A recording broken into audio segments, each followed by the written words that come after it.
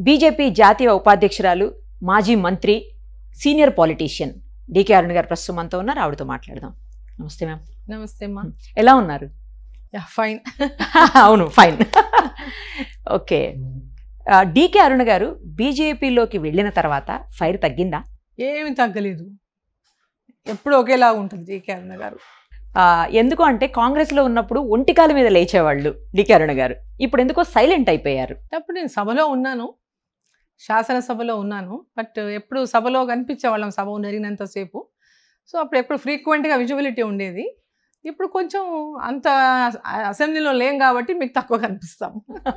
అందుకని అలా అనిపిస్తుంది అంటారా మాకు? అంతే. అప్పుడు చూసి చూసి చూసి అలవాటు అయిపోయింది కదా.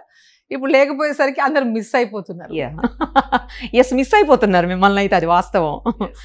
ఓకే నెక్స్ట్ ఎప్పుడు డీకే అరుణ గారు కాంగ్రెస్ గూటికి తిరిగి చేరుకోబోతున్నారు. ఎందుకు అంటే చాలా మంది ట్రోల్ చేస్తున్నారు. మీరు కాంగ్రెస్లోకి మళ్ళీ తిరిగి చేరుతున్నారు అనేసి. రాజకీయాలు తెలియని వాళ్ళు రాజకీయ అనుభవం లేనటువంటి వాళ్ళు డీకే అరుణ గురించి అర్థం చేసుకోలేనటువంటి వారు డీకే అరుణ గురించి తెలియనటువంటి వాళ్ళు ఎందుకంటే ఇప్పుడు రాజకీయాలు చాలా చీప్ అయిపోయినాయి కదా. సో ఆ చీప్ పాలిటిక్స్ని చూసి చీప్ థింకింగ్ ఉన్న వాళ్ళు ఆ విధంగా ఆలోచన చేసుకుంటారు. డీకే అరుణ గారు జాతీయ పార్టీలోకి చేరారు అంటేనే ఎంతో ఆలోచించుకొని బీజేపీలో చేరాను. నరేంద్ర మోడీ గారి నాయకత్వంలో పనిచేయాలనేటటువంటి లక్ష్యంతోనే ఈరోజు బీజేపీలో ఉండి ఒక నేషనలిజం అంటే ఒక జాతీయ ఒక విధానంతోనే ఒక నేషనాలిటీ అనే ఒక భావనతోనే నేషనలిజం భావనతోనే ఈరోజు నేను బీజేపీలో చేరిన. సో పాపం ఎవరైనా ఆశపడుతుంటే వాళ్ళకు నిరాశ మిగులుతుంది తప్ప పాపం ఏం లాభం ఉండదు. అప్పట్లో పీసీసీ రేసులో ఉన్నటువంటి మీరు ఎందుకు పార్టీ మారాల్సి వచ్చింది అసలు? నాకు అక్కడ ఉండాలనిపించలేదు. కాంగ్రెస్లో ఉండి నేను తెలంగాణ ప్రజలకు న్యాయం చేయలేని అనిపించింది.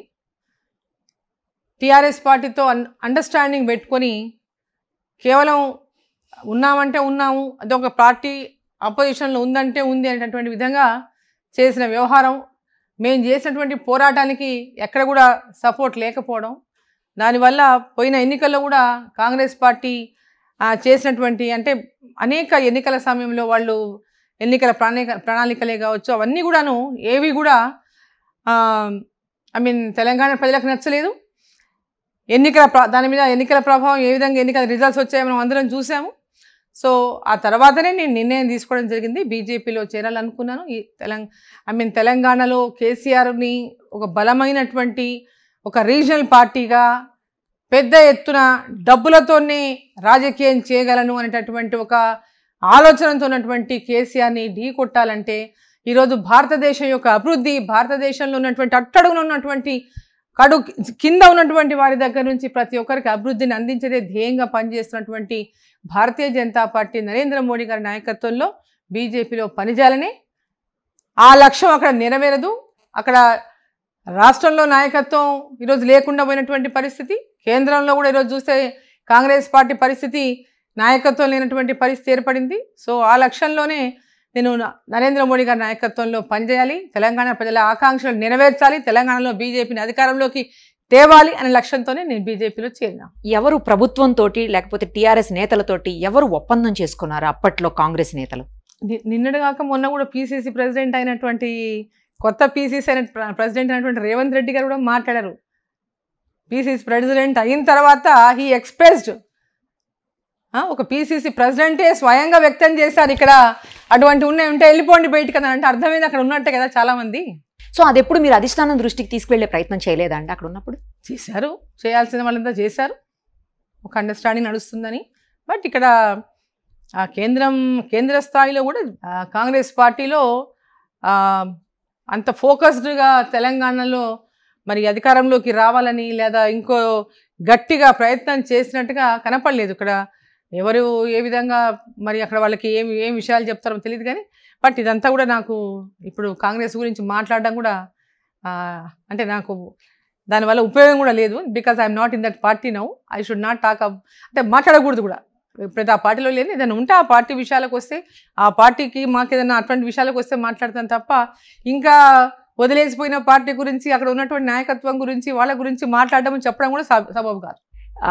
అప్పట్లో మీరు పదవులు డబ్బులు ఆశ చూపించి మిమ్మల్ని తీసుకువెళ్ళారు బీజేపీ నేతలు ఆ పార్టీలోకి అని చెప్పేసి కూడా కొంతమంది మాట్లాడుతున్నారు. అదే చెప్పాను చిల్లర రాజకీయాలు చేసే వాళ్ళు మాట్లాడతారు. డీకే అరుణ గురించి తెలిసినటువంటి వాళ్ళు కానీ డీకే అరుణ వ్యక్తిత్వం తెలిసినటువంటి వాళ్ళు కానీ ఎవరికి కూడా డీకే అరుణ ఏంటో ప్రతి ఒక్కరికి తెలుసు. అటువంటి చిల్లర మాట మాట్లాడే వాళ్ళ గురించి ఎవరు పట్టించుకోరు కూడా.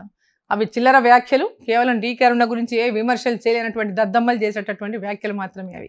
టీపీసీసీ చీఫ్గా రేవంత్ రెడ్డి గారు వచ్చిన తర్వాత మీతో మాట్లాడారా? మళ్ళీ పార్టీలోకి రమ్మని ఏమన్నా ఆహ్వానించారా? అలాంటిది ఏమీ లేదు. వారికి కూడా బాగా తెలుసు డీకే అరుణ నేచర్ ఏంటో. రేవంత్ రెడ్డి గారు కూడా బాగా తెలుసు. అలాంటి ప్రయత్నం చెయ్యరు అనేటటువంటిది ఎందుకంటే తెలుసు నా గురించి తెలిసినవాడు కాబట్టి అటువంటి ప్రయత్నం చెయ్యడు. డీకే అరుణ ఏంటో రేవంత్ రెడ్డి గారు కూడా తెలుసు. ఒక అంటే నా వ్యక్తిత్వం తెలిసిన వ్యక్తి కాబట్టి నాకు ఫోన్ చేసి పార్టీలోకి వస్తావా అంటే అది ఆయనకు తగినటువంటిది కాదు. ఆయన వ్యక్తిత్వం తగినటువంటిది కాదు. ఒక పీసీసీ అధ్యక్షుడిగా ఉండి ఒక పార్టీ రాష్ట్ర జాతీయ పార్టీలో ఉపాధ్యక్షురాలుగా ఉన్నటువంటి డీకే అరుణకు ఫోన్ చేసి పార్టీలోకి రమ్మని ఆహ్వానించినటువంటి పద్ధతి కూడా సరైంది కాదని చెప్పి ఆయన కూడా అనుకుంటాడు కాబట్టి అటువంటి కాల్స్ కూడా నేను ఎప్పుడు ఎక్స్పెక్ట్ చేయను అటువంటి కాల్స్ కూడా నాకు వస్తాయి. ఎక్స్పెక్ట్ చేయను కూడా. చేయకుంటేనే మంచిది వాళ్ళు ఎవరైనా ఆ విధంగా ఆలోచన ఉంటే కూడా. టీపీసీసీ చీఫ్గా రేవంత్ రెడ్డి గారు వచ్చిన తర్వాత బీజేపీలోకి చేరికలు తగ్గిపోయాయి. అందరి చూపు కూడా మళ్ళీ తిరిగి కాంగ్రెస్ వైపే పోతోంది అని అంటున్నారు. అలా ఏమీ లేదు. అంత ఒక భ్రమ మాత్రమే. టచ్లో ఉన్న వాళ్ళందరూ మాకు టచ్లో ఉన్నారు. అక్కడ పెరిగిపోయినటువంటి చేరి చేరికలు ఏమీ లేవు. కాంగ్రెస్లో ఏం చేరికలు ఉన్నాయి చెప్పండి ఇప్పుడు? కాంగ్రెస్లో కొత్త చేరికలు ఏమైనా జరిగాయా? ఎవరైనా టీఆర్ఎస్లోంచి పోయి కాంగ్రెస్లో చేరారా? లేకపోతే బీజేపీలోంచి పోయి కాంగ్రెస్లో చేరారా? టీడీపీలో గతంలో ఉన్నటువంటి వాళ్ళు వాళ్ళకు వాళ్ళకి ఉన్నటువంటి పాత ఏదైనా ఉంటే మాట్లాడుకున్న అటువంటి వాళ్ళు ఏదైనా చేరుంటారు తప్ప కాంగ్రెస్ అంటే కాంగ్రెస్ ఇప్పుడు కొత్తగా బీజేపీలోంచి వచ్చిన పోయినటువంటి వాళ్ళు ఎవరు కూడా ఇక్కడ బీజేపీ పార్టీలో ఉన్నటువంటి వాళ్ళు కానీ బీజేపీ పార్టీలో ఈరోజు ఏండు తరబడి బీజేపీకి సేవలు అందిస్తున్నటువంటి వారు కానీ ఎవరు కూడా కాంగ్రెస్ వైపు చూడరు చూడబోరు. మీ జిల్లాకి సంబంధించినటువంటి ఎర్రా శేఖర్ వాళ్ళు కూడా మీ పార్టీలో నుంచి కాంగ్రెస్ పార్టీ తీర్థం పుచ్చుకున్నారు మళ్ళీ. అంటే ఆయనని మేము పిలిచింది కూడా లేదు. వాస్తవంగా చెప్పాలంటే బీజేపీ పార్టీలోకి ఎర్రశేఖర్ మేము ఎవరో ఆహ్వానించింది కూడా లేదు. ఓకే. మేము ఎప్పుడు ఎర్రశేఖర్ గారిని రండి బీజేపీలోకి అని మేము ఎవరు నే- జిల్లా కదా? యా నేను ఆహ్వానించలేదు వారిని. బీజేపీలో రండి అని నేను ఆహ్వానించలేదు. సరే వాళ్ళు టీడీపీలో చాలామంది టీడీపీ నుంచి నాయకులు పెద్ద ఎత్తున ఒక గ్రూప్ ఆఫ్ పీపుల్ జాయిన్ అయిన మాజీ మంత్రులు మాజీ ఎమ్మెల్యేలు చాలామంది చేరినటువంటి సందర్భంగా వారు కూడా వారితో పాటు బీజేపీలో చేరినారు. మొన్న మరి రేవంత్ రెడ్డి గారు కూడా టీడీపీ నుంచి కాంగ్రెస్లోకి వచ్చారు కాబట్టి ఆ పాత స్నేహము జిల్లాలో వాళ్ళకు ఉన్నటువంటి అనుబంధం ఏంటో తెలియదు మళ్ళీ ఆయన ఆయన దగ్గర పోయినట్టున్నాడు తప్ప బీజేపీలో కూడా వారిని మేము ఎప్పుడూ ఆహ్వానించలేదు. లక్ష మందితో జరిగినటువంటి ఇంద్రవెల్లి సభతో మళ్ళీ కాంగ్రెస్ పుంజుకోబోతోంది. ఇక్కడ రాబోయే రోజుల్లో ఖచ్చితంగా కాంగ్రెసే టీఆర్ఎస్కి ఎగెనిస్ట్ అవబోతోంది తప్ప బీజేపీ కాదు అని చెప్పేసి కొంతమంది మాట్లాడుతున్నారు. లక్ష మందితో ఇంద్రవెల్లి సభ ఎక్కడ జరిగింది చెప్పండి? ఇక్కడే పెద్ద ఎగ్జాజరేషన్ ఇది. సెవెన్ ఎయిట్ థౌజండ్ లేరు అక్కడ. మీరు లక్ష మంది అని చెప్తే ఎగ్జాజరేషన్ కాకపోతే దీన్ని ఏమంటారు చెప్పండి? ఇదంతా ఇటు ఎగ్జాజరేషన్స్ మానేయాలి.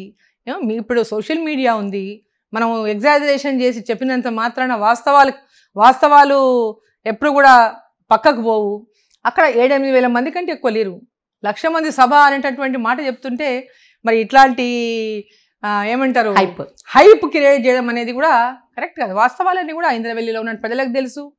మీడియాలో కూడా మనం చూస్తే పిక్చర్స్ని చూసినా వీడియోస్ని చూసినా ఎంతమంది ఉంటారో ఈజీగా మనం గుర్తుపట్టేయచ్చు. దట్ ఇస్ వాస్తవం కాదు. కాంగ్రెస్ వైపు ఎవరు చూడడం లేదు. కాంగ్రెస్ మీద పూర్తిగా ప్రజలు విశ్వాసం కోల్పోయినరు. సరే నాయకత్వం ఉంది. కాంగ్రెస్కు కొంత వెనకటి నుంచి ఉన్నటువంటి ఓటు బ్యాంక్ ఉంది. కాంగ్రెస్కు ఉన్నటువంటి క్యాడర్ ఉంది. దాంట్లో కాదనను. బట్ ఓటర్లు న్యూట్రల్గా ఉన్నటువంటి వాళ్ళు కానీ ఇప్పుడు కొత్తగా వచ్చినటువంటి యువత కానీ కాంగ్రెస్ వైపు చూడటం లేదు. కాంగ్రెస్ మీద విశ్వాసం లేదు. వారికి అంతా కూడా బీజేపీ వైపే వాళ్ళ చూపంతా బీజేపీ వైపు ఉంది. తెలంగాణలో నరేంద్ర మోడీ గారి నాయకత్వంలో బీజేపీ రావాలని కోరుకుంటున్నారు. ఈ హైప్ అంతా ఎంత హైప్ చేసినా ఇట్లాంటి హైప్ల వల్ల ఓట్లు రావనే సంగతి మనం గతంలో కూడా చూసినాం. సో ఖచ్చితంగా తెలంగాణలో ఆల్టర్నేట్ బీజేపీ పార్టీ మాత్రమే టీఆర్ఎస్ పార్టీకి. బీజేపీనే రేపు తెలంగాణ ప్రజలందరూ కూడా అధికారంలోకి రావాలని కోరుకుంటున్నారు. సో ఖచ్చితంగా బీజేపీ తెలంగాణలో టీఆర్ఎస్ పార్టీకి ప్రత్యామ్నాయం అంటే బీజేపీనే రేపు ఖచ్చితంగా తెలంగాణ రాష్ట్రంలో అధికారంలోకి రాబోయేది కూడా బీజేపీనే. టీపీసీసీ పదవి చేపట్టాక రేవంత్ రెడ్డి గారు వచ్చాక ఫుల్ యూత్ అంతా కూడా ఆయన వైపే చూస్తున్నారు. ఖచ్చితంగా ఇక్కడ రాబోయే రోజుల్లో ముఖ్యమంత్రిగా ఆయనే ఉంటారు అని కూడా కొంతమంది మాట్లాడుతున్నారు. కాంగ్రెస్ వాళ్ళు చెప్పొచ్చు రేవంత్ వెంబడి. ఎవరి అభిమానులు వాళ్ళు చెప్పుకుంటారు కదా దాంట్లో ఏమున్నది చెప్పండి. అభిమానం ఉన్నటువంటి వాళ్ళు ఎవరి అభిమానం ఉన్నటువంటి వాళ్ళు రావాలని కోరుకుంటారు కావాలని కోరుకుంటారు. దాంట్లో ఎలాంటి తప్పు లేదు. ఇంతకుముందే చెప్పాను కాంగ్రెస్ పార్టీ ప్రత్యామ్నాయం కాదు. అక్కడ నాయకుడు ఎవరన్నది ప్రశ్న కాదు. కాంగ్రెస్ పార్టీ ప్రత్యామ్నాయమే కాదు తెలంగాణలో. ఎందుకంటే గతంలో కాంగ్రెస్ పార్టీకి ఓటేసి గెలిపించిన ఎమ్మెల్యేలు కూడా ఈరోజు కాంగ్రెస్ పార్టీలో లేరు. ఓకే. రేపు కాంగ్రెస్ పార్టీకి ఓటేసి గెలిపించిన అధికారంలోకి వచ్చేటటువంటి సీనే లేదు. అధికారంలోకి వచ్చేటటువంటి సీన్ ఉన్న సమయంలోనే రాలేకపోయినరు. రేపు భవిష్యత్తులో వచ్చేటటువంటి మాట కల్లా. ఇవన్నీ గతంలోనే రేవంత్ రెడ్డి గారు కూడా గతంలో వర్కింగ్ ప్రెసిడెంట్ ఉన్నారు. వారు కూడా చాలా పెద్ద ఎత్తున ప్రచారం చేశారు ఎన్నికల్లో. సో అప్పుడు లేని ఫాలోయింగ్ ఇప్పుడు ఏం కొత్తగా లేదు కదా. అప్పుడు కూడా ఫాలోయింగ్ ఉంది కదా ఆయనకి. ఈరోజు కొత్తగా వచ్చిన ఫాలోయింగ్ ఏం లేదు కదా.